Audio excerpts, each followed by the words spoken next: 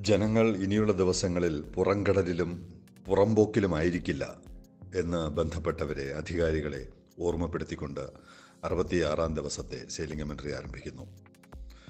ഷൻഹുവ ഇന്നലെ വൈകുന്നേരം എത്തിയിരുന്നു ഏകദേശം നാൽപ്പത്തിയേഴ് നോട്ടിക്കൽ മക മൈൽ അകലെ ഇന്നലെ നമുക്ക് കാണാൻ പറ്റിയിരുന്നു. പക്ഷെ ഇന്ന് രാവിലെ അത് എൺപത്തിരണ്ട് നോട്ടിക്കൽ മൈൽ പുറംകടലിലോട്ട് പോയി. എന്താണ് കാരണം? ഇത് ഇരുപത്തിനാല് ഒക്ടോബർ ഏകദേശം പതിനെട്ട് ദിവസം മുമ്പ് യാത്ര തിരിച്ചൊരു കപ്പലാണ്. ചരക്കും കൊണ്ടുവരുന്നു ക്രെയിനും കൊണ്ടുവരുന്നു. ലോകം മുഴുവൻ അറിയാം. എല്ലാ ദിവസവും സെയിലിംഗ് കമൻട്രി അതിന്റെ വിവരങ്ങൾ നൽകിക്കൊണ്ടിരുന്നു. അപ്പോൾ ഇന്നലെ എത്തിയ കപ്പലിനെ ഇന്ന് പ്രവേശിപ്പിക്കണ്ടേ? തുറമുഖത്തിനകത്ത് ഹാർബറിനകത്ത് ഇന്ന് പ്രവേശി ഇന്നലെ രാത്രി വേണ്ട രാത്രിയാണ് പ്രശ്നങ്ങളാണ്. പക്ഷെ പകൽ വെളിച്ചത്തിൽ ഇന്ന് രാവിലത്തെ ഡ്യൂട്ടി അതായിരിക്കണ്ടേ? സെയിലിംഗ് കമൻട്രി മനസ്സിലാക്കുന്നത് നാളെയേ ഓപ്പറേഷൻ നടക്കൂ എന്നാണ്. എന്തുകൊണ്ടാണ് ഇരുപത്തിനാല് മണിക്കൂർ വൈകുന്നത്? കോടിക്കണക്കിന് രൂപ നികുതി വാങ്ങിച്ചെടുക്കുന്നവർക്ക് ഇങ്ങനെ ഒരു കപ്പൽ വരുന്നു. ആ കപ്പൽ വരുമ്പോൾ അതിനെ എത്രയും വേഗം അകത്തോട്ട് കയറ്റണം. ടേൺ അറൗണ്ട് ടൈം എന്ന് പറയും. ഒരു കപ്പൽ ഹാർബറിനകത്ത് കയറ്റി ചരക്കിറക്കി തിരിച്ചു പുറത്തോട്ട് പോകുന്ന ഒരു സമയത്തെ അന്താരാഷ്ട്ര തലത്തിൽ വ്യാഖ്യാനിക്കുന്നത് ടേൺ അറൗണ്ട് ടൈം എന്നാണ്. ടേൺ അറൗണ്ട് ടൈമാണ് ലോകത്തിലുള്ള ബെഞ്ച് മാർക്ക് ഒരു പോർട്ട് എത്രത്തോളം എഫിഷ്യന്റ് ആണ് എന്ന് ലോകം പഠിക്കുന്നത് ലോകം അറിയുന്നത് ഈ ടേൺ അറൗണ്ട് ടൈം വെച്ചിട്ടാണ്. അങ്ങനെയാണ് മത്സരം. അങ്ങനെയാണ് ലോകത്തെ ഷാങ്ഹായ് പോർട്ടും സിംഗപ്പൂർ പോർട്ടും റോട്ടർഡാം പോർട്ടും ദുബായ് പോർട്ടും ഒക്കെ മത്സരിക്കുന്നത് ഞങ്ങളുടെ ടേൺ അറൗണ്ട് ടൈം ഇത്രയും കുറവാണ് എന്ന് ലോകത്തോട് പറഞ്ഞുകൊണ്ടാണ്.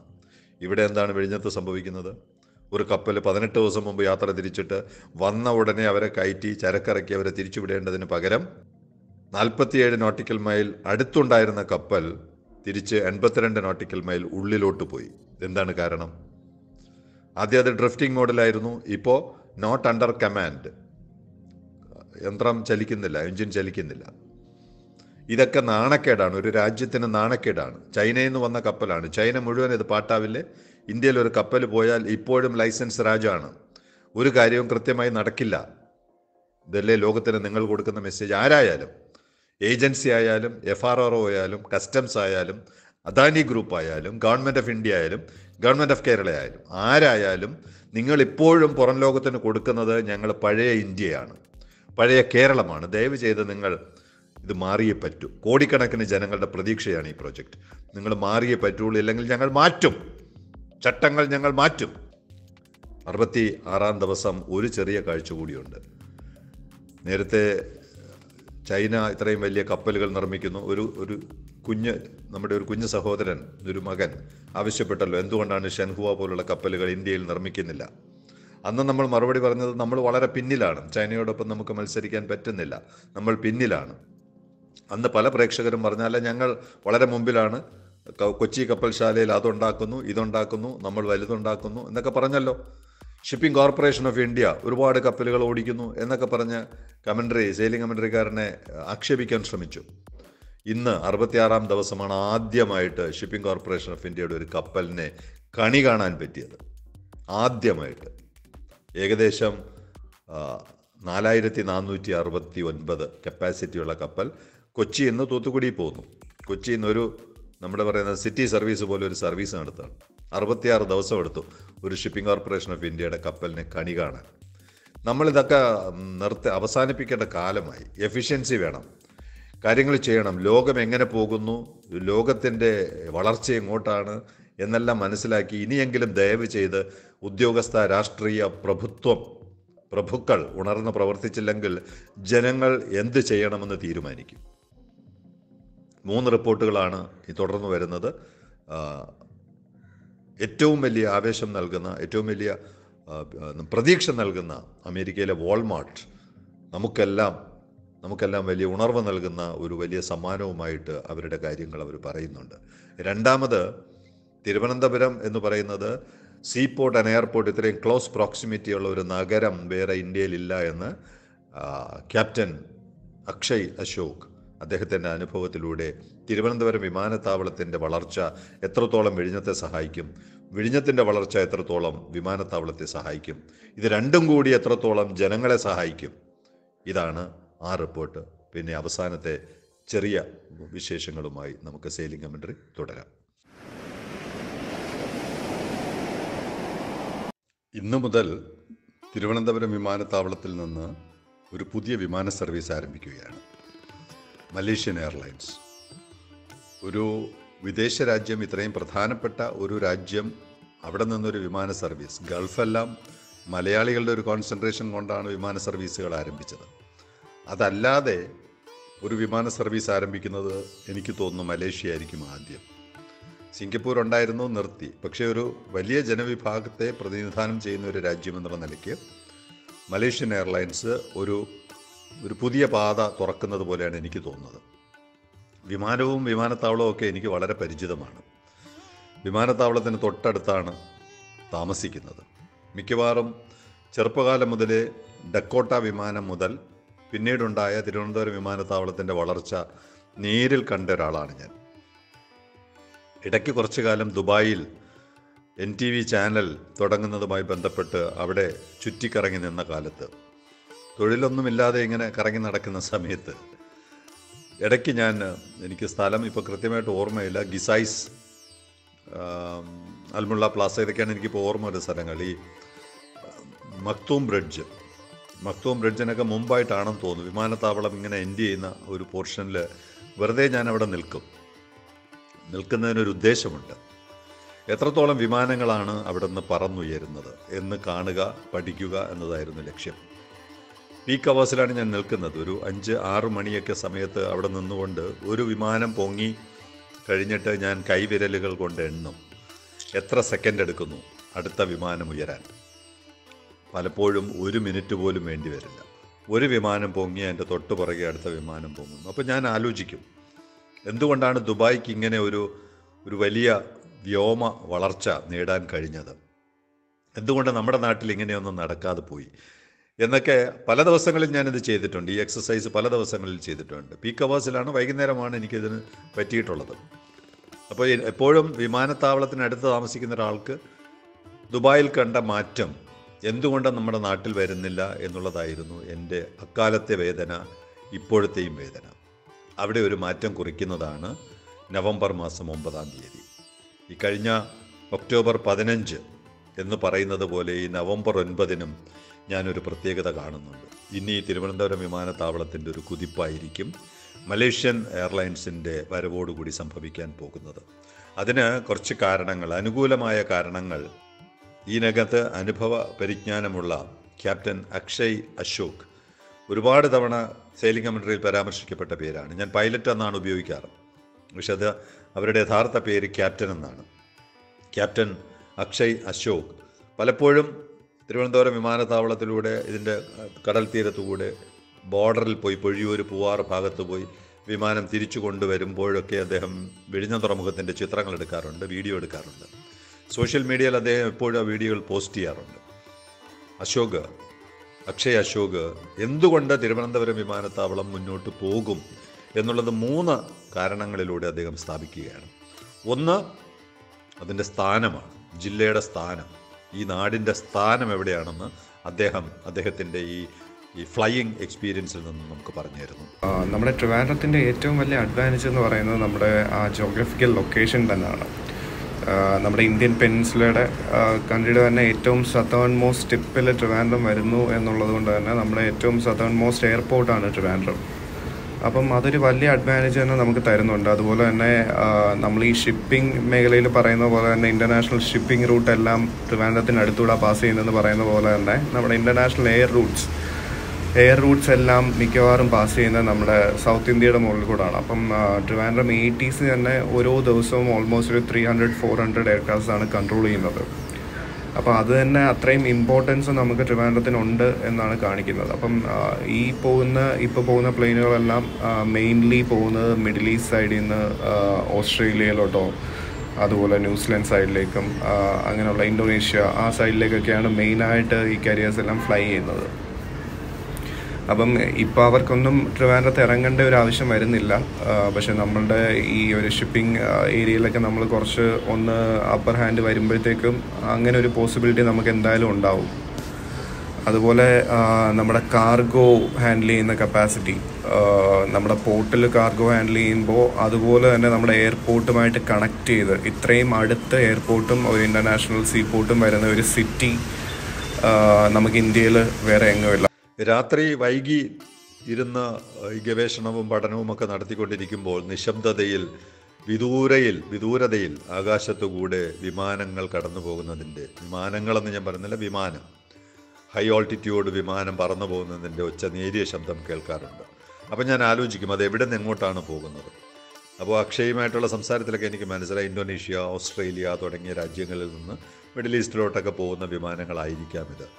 അങ്ങനെ അത്തരം വിമാനങ്ങൾക്ക് തിരുവനന്തപുരം വിമാനത്താവളം ഏതൊക്കെ വിധത്തിലായിരിക്കും സഹായകരമാവുക? അതുപോലെ തന്നെ നമുക്ക് ഈ റീഫ്യൂലിങ്ങിൽ ഇപ്പോൾ പോർട്ട് വരുന്നതോടെ നമുക്ക് ഈ ക്രൂഡ് ഓയിലും അതുപോലെ തന്നെ ഏവിയേഷൻ ടർബൈൻ ഫ്യൂൽ അങ്ങനെയൊക്കെയുള്ള കാര്യങ്ങൾ നമുക്ക് ഡയറക്റ്റ് വിഴിഞ്ഞം വഴി ഇത് നമുക്ക് കൊണ്ടുവരാൻ പറ്റും. അപ്പം നമുക്ക് ഇപ്പോൾ ഫ്യൂവൽ കൊടുക്കുന്നതിനെക്കാട്ടി കുറഞ്ഞ ഒരു റേറ്റിൽ നമുക്ക് ഫ്യൂവൽ കൊടുക്കാൻ പറ്റും. ഇപ്പോൾ തന്നെ കുറഞ്ഞ റേറ്റിലാണ് നമുക്ക് കേരളത്തിലെ ഫ്യൂവൽ എ ടി എഫ് ഈ എയർക്രാഫ്റ്റ് ടർബൈൻ ഫ്യൂവൽ കൊടുക്കുന്നത്. അപ്പോൾ അത് കാരണം ഞങ്ങൾ ഞങ്ങൾ ചെയ്യുന്ന ഒരു കാര്യം എന്താണെന്ന് വെച്ച് കഴിഞ്ഞാൽ നമ്മളിപ്പം നോർമലി ഏതെങ്കിലും ഒരു എയർപോർട്ടിൽ പോവുകയാണെങ്കിൽ അവിടുന്ന് ഞങ്ങൾ ഡെസ്റ്റിനേഷനിലേക്ക് പോകുന്ന ഫ്യൂലും അതിന് കുറച്ച് സേഫ് ആയിട്ടുള്ള ഒരു ബഫറും വെച്ചിട്ടുള്ള ഫ്യൂൽ മാത്രമാണ് കൊണ്ടുപോകുന്നത്.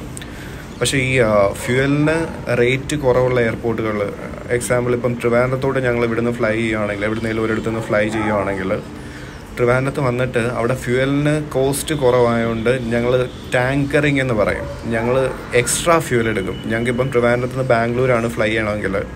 ഞങ്ങൾക്ക് ആവശ്യം വരുന്നത് ഒരു ടു ടൺസ് ഫ്യൂവൽ ആയിരിക്കും ഞങ്ങൾക്ക് വേണ്ടത് ശരിക്കും വേണ്ടത്. പക്ഷേ ഈ ഫ്യൂവലിന് ട്രിവാൻഡ്രത്ത് പ്രൈസ് കുറവായതുകൊണ്ട് ഈ ടു ടൺസിന് ഞങ്ങൾ എക്സ്ട്രാ കുറച്ചുകൂടെ എടുത്തിട്ട് ഈ ടു ടൺസ് എന്നുള്ളത് ചിലപ്പോൾ ഞങ്ങൾ ഒരു ഫൈവ് ടൺസോ അല്ലെങ്കിൽ സിക്സ് ടൺസോ ക്യാരി ചെയ്യും. കാരണം ഇവിടെ ഫ്യൂവലിന് പ്രൈസ് കുറവായതുകൊണ്ട് അത്രയും ഞങ്ങൾ ക്യാരി ചെയ്താലും ഞങ്ങൾക്ക് എൻഡ് ഓഫ് ദ ഡേ അതൊരു പ്രോഫിറ്റിലേക്കാണ് വരുന്നത്. അപ്പം അങ്ങനെയുള്ള ഒത്തിരി പോസിബിലിറ്റീസ് ഉണ്ട്. അപ്പോൾ അതൊക്കെയാണ് നമ്മൾ ഇനിയുള്ള ഒരു ടൈമിൽ കൂടുതൽ കോൺസെൻട്രേറ്റ് ചെയ്യേണ്ടതെന്നാണ് എനിക്ക് തോന്നുന്നത്.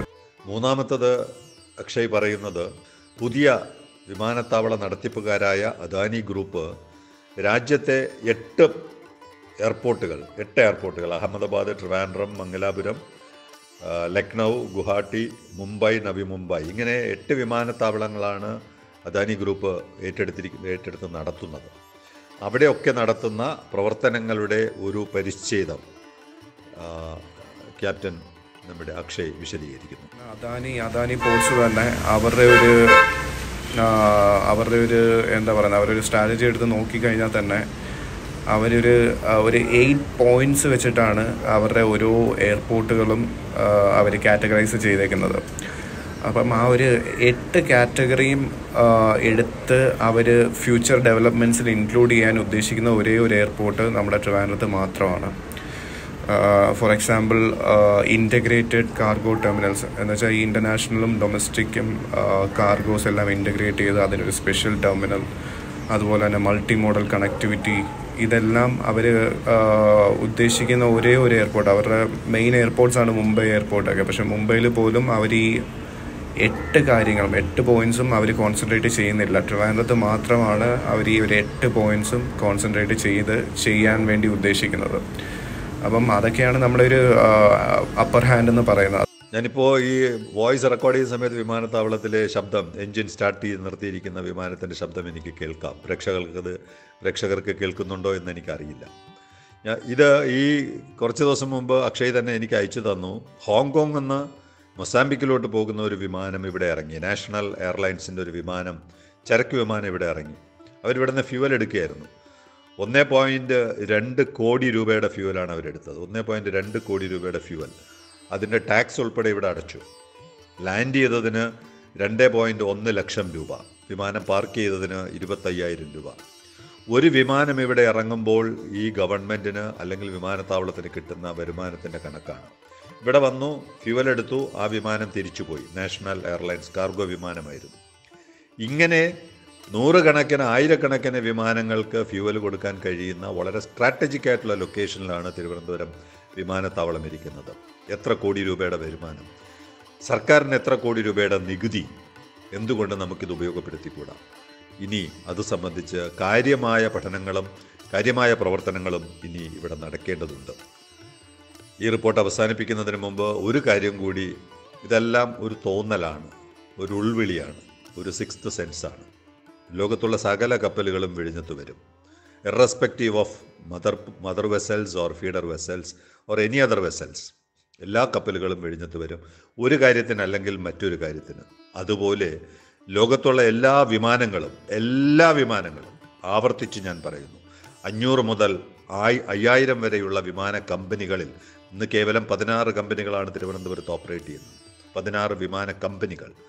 അവിടെ ലോകത്തുള്ള എല്ലാ വിമാനങ്ങളും വിമാന കമ്പനികളും തിരുവനന്തപുരത്ത് വരുന്ന ഒരു ദിവസം. വളരെ വിദൂരത്തല്ല എന്ന് മാത്രം പറഞ്ഞുകൊണ്ട് ഇന്നത്തെ വിമാന കാഴ്ചകളുടെ ഈ റിപ്പോർട്ട് അവസാനിപ്പിക്കുന്നു. തീയതി കുറിച്ചിട്ടോളൂ. രണ്ടായിരത്തി ഇരുപത്തിനാല് ഫെബ്രുവരി പതിനാല് പതിനഞ്ച് തീയതികൾ. സെയിലിംഗ് കമൻട്രിയുടെ ടീം ഡൽഹിയിലോട്ട് പോകണം. തീയതി ഒന്നുകൂടി കുറിച്ചിട്ടോളൂ. ഫെബ്രുവരി പതിനാല് പതിനഞ്ച് അടുത്ത കൊല്ലം രണ്ടായിരത്തി ഇരുപത്തിനാല് ആരാണ് ക്ഷണിക്കുന്നത്? വാൾമാർട്ട്. കേട്ടിട്ടുണ്ടല്ലോ Walmart? വാൾമാർട്ടിന്റെ vice president executive vice president ഇവിടെ ഉണ്ടായിരുന്നു. അവർ പറഞ്ഞത് പത്ത് ബില്യൺ പത്ത് ബില്യൺ ഡോളറിന് തുല്യമായ സാധനങ്ങൾ ഇന്ത്യയിൽ നിന്ന് അവർ വാങ്ങാൻ പോകുന്നു. By twenty twenty seven. നമുക്ക് എത്ര വർഷമുണ്ട്? ഇരുപത്തിനാല് ഇരുപത്തഞ്ച് ഇരുപത്താറ് ഇരുപത്തേഴ്. കറക്റ്റ് നമ്മൾ കപ്പലിന് വേണ്ടി തയ്യാറാക്കുന്ന സാധനങ്ങളെല്ലാം കൂടി ചേരുമ്പോൾ വാൾമാർട്ടിനെയും നമുക്ക് ലക്ഷ്യമാക്കാം. Andrea Albright executive vice president Walmart പറയുകയാണ് ഇന്ത്യയാണ് അവരുടെ അടുത്ത ലക്ഷ്യം. Everything from food to antibiotics drug manufacturing toys apparel and home it is such a breadth of categories and that's quite unique to have in one country. അവർ പറഞ്ഞതാണ് ഇന്ത്യയെക്കുറിച്ച്. ഇത്രയും സാധനങ്ങൾ ഇത്രയും വൈവിധ്യമുള്ള സാധനങ്ങൾ എല്ലാം കൂടി ഒരുമിച്ച് സോഴ്സ് ചെയ്യാൻ പറ്റുന്ന അപൂർവ രാജ്യങ്ങളിൽ ഒന്നാണ് ഇന്ത്യ. എന്താണ് അവർ കാണുന്ന മറ്റൊരു പ്രത്യേകത? Size of the work force ഇവിടുത്തെ നമ്മുടെ തൊഴിലാളികളുടെ എണ്ണം അതിന്റെ number range of category coverage എന്തൊക്കെ തരം വൈവിധ്യമുള്ള ഉൽപ്പന്നങ്ങൾ നമ്മൾ ഉണ്ടാക്കുന്നു? Price very competitive. അതാണ് അട്രാക്ഷൻ അവർക്ക് താല്പര്യം ഉണ്ടാകുന്ന പ്രധാനപ്പെട്ട ഒരു ഘടകം ആഗോളതലത്തിൽ കമ്പയർ ചെയ്യുമ്പോൾ വലിയ കുഴപ്പമില്ലാത്ത വിലയ്ക്ക് ഇന്ത്യയിൽ നിന്ന് സാധനങ്ങൾ വാങ്ങാം. എന്താണ് മാർക്കറ്റ് സൈസ് പത്ത് ബില്യൺ ഡോളർ ആയിരം കോടി ഡോളർ എന്ന് പറഞ്ഞാൽ ഇന്ത്യൻ വില ഇന്ത്യൻ കൺവേർഷൻ അനുസരിച്ച് എൺപത്തി മൂവായിരം കോടി രൂപ. എൺപത്തി മൂവായിരം കോടി രൂപയുടെ സാധനമാണ് അവർ രണ്ടായിരത്തി ഇരുപത്തിയേഴിൽ ഇവിടെ നിന്ന് വാങ്ങാൻ പോകുന്നത്.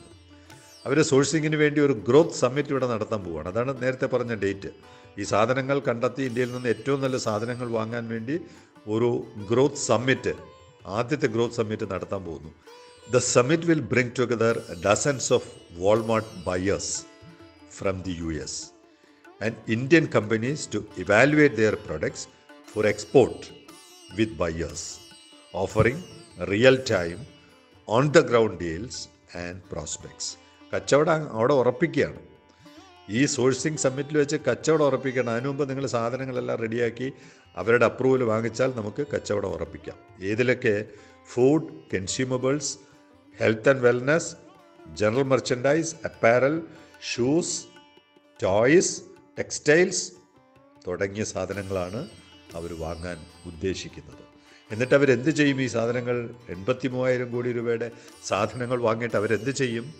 പതിനാല് വിപണികൾ പതിനാല് ബിഗ് മാർക്കറ്റ്സ് അവർക്കുണ്ട്. U S Canada Mexico Central America and U K ഇവിടെയുള്ള പതിനാല് വമ്പൻ മാർക്കറ്റുകളിലോട്ട് വാൾമാർട്ട് സാധനങ്ങൾ സപ്ലൈ ചെയ്യും. ഞാനിത് കാണുമ്പോൾ രണ്ടായിരത്തി ഇരുപത്തിനാലിൽ കപ്പലെടുക്കുമ്പോൾ രണ്ടായിരത്തി ഇരുപത്തേഴിൽ വാൾമാർട്ട് എൺപത്തി മൂവായിരം കോടി രൂപയുടെ സാധനങ്ങൾ പർച്ചേസ് ചെയ്യുമെന്ന് പറയുമ്പോൾ എനിക്കൊരു വാചകം ഓർമ്മ വരുന്നു. When you want something all the universe conspires to help you achieve it Paulo Coelho ഞാൻ എപ്പോഴും എന്റെ വാക്കുകളിൽ എന്റെ ഭാഷയായിട്ട് എപ്പോഴും വരുന്നത് if you have a strong desire the whole universe will conspire and do it Paulo കൊയ്ലോയുടെ വാക്കുകളിൽ നിന്ന് അല്പം വ്യത്യസ്തമായിട്ടാണ് ഞാൻ എല്ലാവരോടും സംസാരിക്കുന്നത്. നമുക്കൊരു അദമ്യമായ ആഗ്രഹം അതിന്റെ അതിന്റെ ട്രാൻസ്ലേഷൻ ഞാൻ പറയും. നമുക്ക് അടങ്ങാത്ത അദമ്യമായ ഒരു ആഗ്രഹമുണ്ടെങ്കിൽ നമുക്ക് ചുറ്റുമുള്ള എല്ലാ പേരും ചുറ്റുമുള്ള ജനത സംസ്ഥാനത്തെ രാജ്യത്തെ മറ്റു രാജ്യങ്ങളിൽ the whole universe will conspire എല്ലാ രാജ്യത്തുമുള്ള ആളുകൾ നമുക്ക് വേണ്ടി പ്രവർത്തിക്കും എന്നത് പൗലോ കൊയ്ലോ എന്ന് പറയുന്ന വിശ്വവിഖ്യാതനായ സാഹിത്യകാരന്റെ വാക്കുകളാണ്. ഇത് ഒരുപാട് വർഷങ്ങളായി ഞാൻ കൊണ്ടു നടക്കുന്നൊരു അപ്തവാക്യം കൂടിയാണ്. ഏറ്റവും വലിയൊരു ആഗ്രഹമായിട്ട് വിഴിഞ്ഞ തുറമുഖം കൊണ്ടു നടക്കുമ്പോഴും അതിനുവേണ്ടി ഒരുപാട് പേര് പ്രവർത്തിച്ചിട്ടുണ്ട്. ജില്ലയിലുള്ളവർ സംസ്ഥാനത്തുള്ളവർ സംസ്ഥാനത്തിന് പുറത്തുള്ളവർ രാജ്യത്തിന് പുറത്തുള്ളവർ ഒരുപാട് പേർ സാമ്പത്തികമായി ബൗദ്ധികമായി ഒരുപാട് സഹായങ്ങൾ ചെയ്തതിന്റെ ഫലമാണ് ഈ പറയുന്ന വിഴിഞ്ഞ തുറമുഖം. അല്ലാതെ കുറച്ച് പേരുടെ മുപ്പത് വർഷത്തെ അധ്വാനം മാത്രമല്ല. നിശബ്ദമായി ഒരു ഒരു മെസ്സേജ് ഒരു വാട്സപ്പ് മെസ്സേജ് നിങ്ങൾ ചെയ്യുന്ന പ്രവർത്തനം ഞങ്ങൾക്ക് ചെയ്യാൻ പറ്റുന്നില്ല. ഞങ്ങൾ വിദേശത്തിരിക്കുന്നു. നിങ്ങൾ ചെയ്യുക. ഞങ്ങളുടെ എല്ലാ അഭിവാദ്യങ്ങളുമുണ്ട് എല്ലാ ഐക്യദാർഢ്യമുണ്ടെന്ന് പറയുമ്പോൾ പവൻ മാറ്റാണ് ആ വാക്കിന്. പവൻ മാറ്റ്. അങ്ങനെയുള്ള ഒരുപാട് പേരുടെ ജപ്പാനിലിരിക്കുന്നവരുണ്ട് അമേരിക്കയിലിരിക്കുന്നവരുണ്ട് കാനഡയിലിരിക്കുന്നവരുണ്ട്. ഒരുപാട് പേരുടെ സ്നേഹവാക്യങ്ങൾ സ്നേഹപ്രകടനങ്ങളാണ് ഇന്ന് ഈ പ്രോജക്റ്റിലോട്ട് കംപ്ലീറ്റ് ചെയ്യുന്ന ഒരു പരുവത്തിൽ ഒരവസ്ഥയിൽ എത്തിക്കുവാൻ നമ്മളെയൊക്കെ സഹായിച്ചത് ഓലോ കൊയിലയുടെ വാക്കുകൾ ഞാൻ ഈ സമയത്ത് അറിയാതെ ഓർത്തുപോയി. വാൾമാർട്ടിന്റെ ആൻഡ്രിയയും നമ്മുടെ ക്യാപ്റ്റൻ അക്ഷയും നൽകുന്ന നൽകിയ പുതിയ എനർജിയുമായിട്ട് നമുക്ക് ഇനിയുള്ള ദിവസങ്ങളിൽ മുന്നോട്ട് പോകാം. നമ്മുടെ ഗ്രൂപ്പ് ചെറുതായിട്ട് ആക്റ്റീവ് ആകുന്നു ചില സംശയങ്ങൾ ചിലർ ചോദിച്ചിട്ടുണ്ട്. വിഴിഞ്ഞം എങ്ങനെയാണ് എക്സ്പോർട്ടേഴ്സിന് ഗുണകരമാക്കുക ഇമ്പെക്സ് ലൈസൻസ് എങ്ങനെ കൊച്ചിയിലുള്ള ലൈസൻസ് നമുക്ക് എങ്ങനെ വിഴിഞ്ഞത്തും അത് ഇഫക്റ്റീവ് ആകുമോ തുടങ്ങിയ വിവരങ്ങൾ ഗ്രൂപ്പിൽ പ്രൊഫഷണൽസ് ഉണ്ട്. കപ്പൽ മേഖലയുമായി കയറ്റുമതി മേഖലയുമായി പോർട്ട് മേഖലയുമായി ഒക്കെ ബന്ധമുള്ള പ്രൊഫഷണൽസ് നമ്മുടെ ഗ്രൂപ്പിലുണ്ട്. അവർ കൃത്യമായി മറുപടി തരും. ക്ഷമയോടെ കാത്തിരിക്കുക. കാരണം എടുത്തു പിടിച്ചൊന്നും ചെയ്യരുത്. ചാടിക്കയറി ഒരു കാര്യവും ചെയ്യരുത്. നല്ലവണ്ണം ആലോചിച്ച് ഒരു പൈസ പോലും നഷ്ടപ്പെടാതെ നമ്മുടെ വെഞ്ചേഴ്സ് നമ്മുടെ പുതിയ സംരംഭങ്ങൾ പരാജയപ്പെടാതെ മുന്നോട്ട് പോകുന്ന തരത്തിൽ ഹോംവർക്ക് ചെയ്ത് മുന്നോട്ട് പോകാൻ പറ്റുന്ന തരത്തിൽ അനുഭവജ്ഞാനമുള്ളവരെ കൂട്ടി മാത്രമേ സംരംഭങ്ങൾ ആരംഭിക്കാവൂ. ധൃതി പിടിക്കരുത്. നമുക്കെല്ലാം ഗ്രൂപ്പിൽ ചർച്ച ചെയ്ത് ഒരു ഒരു ഗ്രൂപ്പിന്റെ കൂടി നമുക്ക് പ്രവർത്തിക്കാം. ഒറ്റയ്ക്ക് ചെയ്യരുത് പ്ലീസ് അത്തരത്തിലുള്ള പുതിയ കാഴ്ചകൾ നിർദ്ദേശങ്ങൾ അഭിപ്രായങ്ങളെല്ലാം നമ്മുടെ ഗ്രൂപ്പിൽ ഇനി ഡിസ്കസ് ചെയ്യും. ഗ്രൂപ്പിൽ വരാത്തവർ ദയവ് ചെയ്ത് ഗ്രൂപ്പിൽ ചേരുക. നമുക്ക് കൂട്ടായിട്ട് ഇന്ത്യയെ രക്ഷപ്പെടുത്താം.